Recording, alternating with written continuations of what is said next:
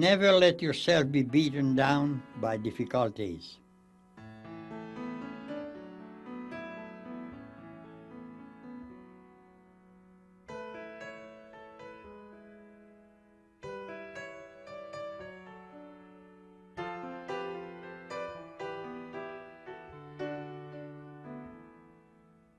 St. Eugene de Mazenod, founder of the Missionary Oblates of Mary Immaculate, made a difference in countless lives of the poor.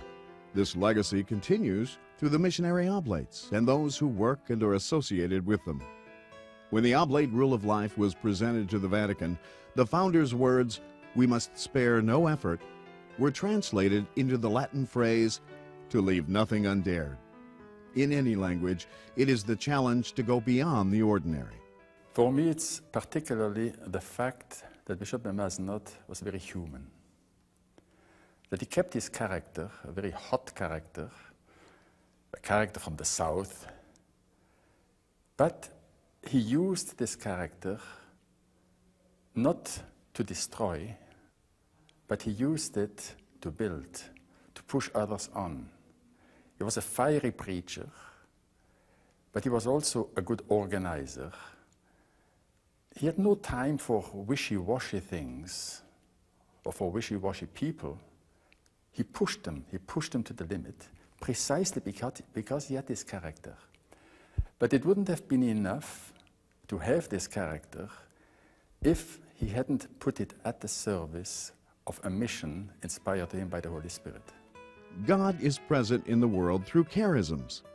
A charism is a special gift given to an individual by God's Spirit for the good of the larger community.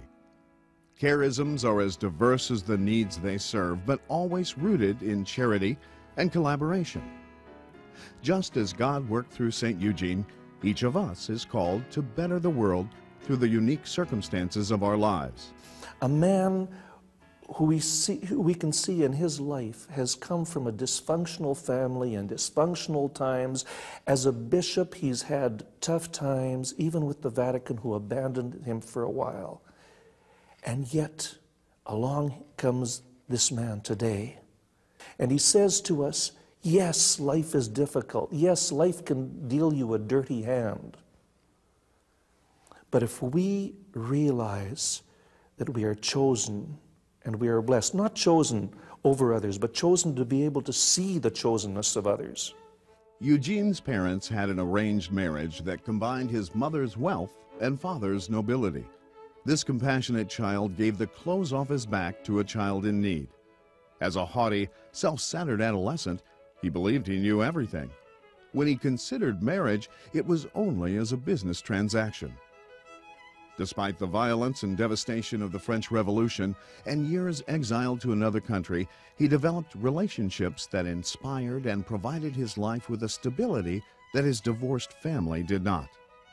I was only 12 years old when God planted in my heart the first real desires to devote my life to the missions. This desire came from listening to Father Zinelli read letters from missionaries in foreign lands. The church in France was not meeting the needs of the poor. As a priest, Father de Mazenod responded to their needs with dignity, compassion, and a Christ-like love, reshaping the spiritually damaged society. If you look at him, you can forgive a lot of the things that de did. I mean, sometimes he was over enthusiastic, but the man had fire. He faithfully followed the Spirit. And he could still explode, but the man was constantly working at right relationships. He had to apologize very many times. Hey, I can, I can identify with that. To admit he had erred or overstepped himself was extremely difficult. Just after ordination, I resolved to pronounce those words that are so difficult for me to say. I'm wrong. I made a mistake. St. Eugene struggled to come to terms with his emotions, whether it was anger or affection. Such was the case with Father Marius Suzanne, a promising young oblate who attracted many through his preaching, enthusiasm, and wisdom. Without any warning, the founder publicly berated and deposed him as superior. This unexpected and ruthless condemnation deeply hurt Father Suzanne, who returned to mission preaching and literally worked himself to death. After a painful illness, he died at age 29. Believing himself responsible, Father de Mazenod was devastated. Since Eugene's Good Friday conversion during his 20s, the crucified Christ symbolized an oblation, a total self giving. Therefore, he insisted that oblates always wear the cross. He centered his life on the paschal mystery, the journey through suffering and death that culminates in the transforming resurrection. Charity is essential to the oblate spirit. Love each other as brothers and sisters. Rejoice over the virtues and talents that others possess as if we have them, and bear with mildness the minor faults yet to be overcome. He cautioned his men Worry instead about virtue, regularity, good discipline, and edification. On Christmas Eve 1837, he was named Bishop of Marseille. Contemplating this work, he prayed, For them I must be prepared to sacrifice comfort, inclinations, rest, even life itself. Lord, help me. I want to be a good bishop. His residence was open daily from 10 a.m. to 2 p.m. Whether wealthy or poor, all were treated with the same dignity and affection. An occasional con artist, out for some easy money, rarely deceived the bishop. His own life of strict poverty made him compassionate and sensitive. One day, Bishop de Mazenod, dressed as a simple priest, removed his shoes in the very middle of the street in the dead of winter. After making a poor man put them on, he went in his stocking feet to buy another pair. He encouraged people to know their dignity. Each morning at the docks, the wives of the fishermen would sell the night's catch. Babo, considered queen of the fishwives because of her imposing personality, had been converted by a sermon on the prodigal son. She then converted and married her common law husband Joseph, the coachman. In 1845, Bishop de Mazenod encouraged Babo to form the Sodality of St. Anne among the fishwives to continue their religious instruction. They also took the bishop to visit the poor who were sick or dying. When France sought to expel the Jesuit fathers, no one dared to carry out the order when the bishop had Babo and the fishwives stand guard around the Jesuits' residence. With the bishop's blessing, Babo convinced her husband to form a religious association of working men. Each Sunday, the men gathered to pray and listen to religious instructions. After just one year, this Conference of St. Joseph had a thousand members. For those from the upper class, like Bishop de Mazenod, giving money to charity was a traditional obligation. But he knew that wasn't enough. He worked to correct injustice by promoting social services whereby the poor could attain a more decent life. Others followed his example. During the 1835 cholera epidemic in Aix, Oblate Father Daniel Andre coordinated the city's aid to victims using a local cafe as his center. Bishop de Mazenod, hearing of Ireland's famine and plague in the late 1840s, asked the people of his diocese to help. Let it not be said that they belong to one empire and we to another. As long as men and women dwell on this earth, we are all children of our Father in heaven and neighbors to each other. And it was very bad. All the immigrants from the famine was there. And he said, something's got to be done for these people. Because Eugene de Mazenod, wherever the poor was, he was there. St. Eugene insisted the missionaries be ministers of mercy to the abandoned rather than seek flattery from the wealthy for eloquent lectures. They spent their mornings in church, available to anyone who wanted to discuss problems or spiritual needs. Brothers, through their technical, professional, or pastoral service, exercised a fruitful ministry in situations not always open to the priest. After an exhausting day, the missionaries would sit down to a late, simple meal. After a few hours of sleep, they would rise at 3:30 a.m. for prayer and the mission duties of the day. The founder prayed daily before the Blessed Sacrament. There he symbolically encountered his brother oblates throughout the world and placed before God the joys and frustrations of the day. Prayer renewed his energy and focused his mission. Bishop de Mazenod believed in people and challenged them to go beyond just keeping the commandments. A good Christian must also help free the poor from their misery by working for justice. When the right to vote was finally given to the ordinary classes, it meant that the majority of people had to walk a far distance to the county seat to vote. Bishop de Mazenod allowed parish priests to dispense from the obligation of Sunday Mass all persons for whom this would cause a hardship. A daring decision, since the French general elections of 1848 occurred on Easter Sunday.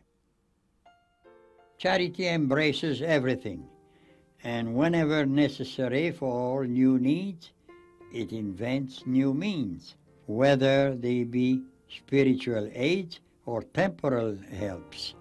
They are all given generously in the name of Jesus Christ. With only 25 members, Bishop de Mazenod was convinced that oblates were destined to go overseas. But where? The answer came in 1841 when Bishop Bourget visited Marseille to beg for oblate missionaries for Canada.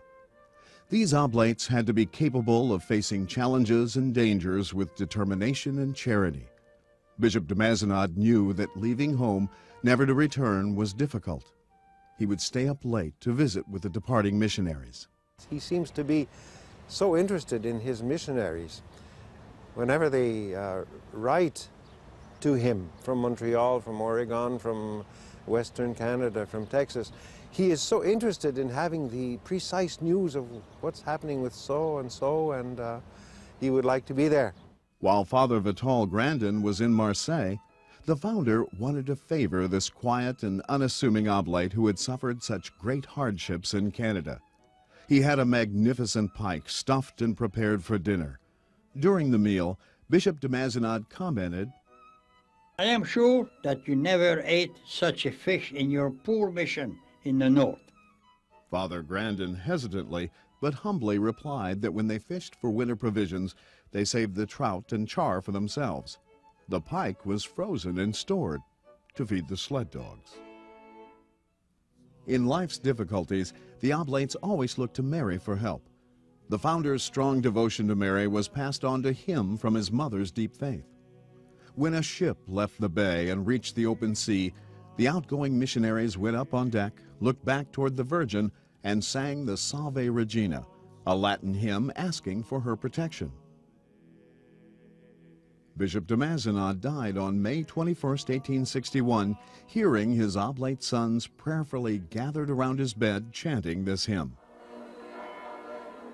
On December 3, 1995, the Catholic Church officially declared him Saint Eugene de Mazenod.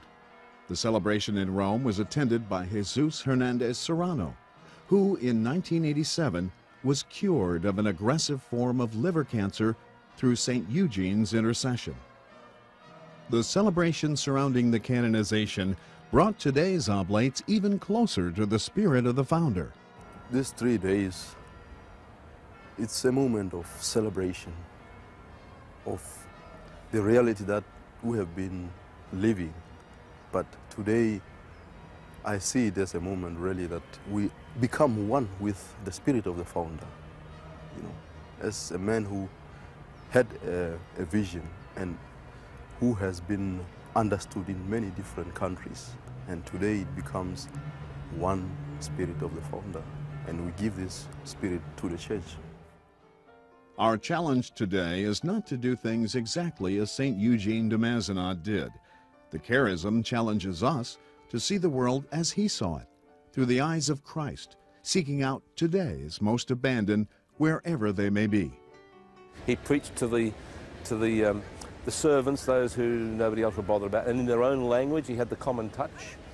Um, and he drew them with this, I guess, this warmth and this friendliness that must have been so much part of him.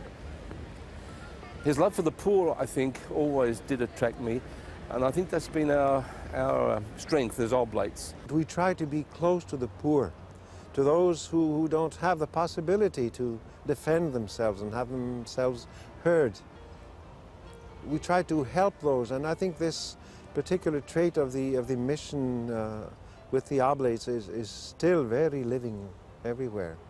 They've discovered that that charism is not just for religious or for priests or for missionaries going to all kind of countries. It's for everybody.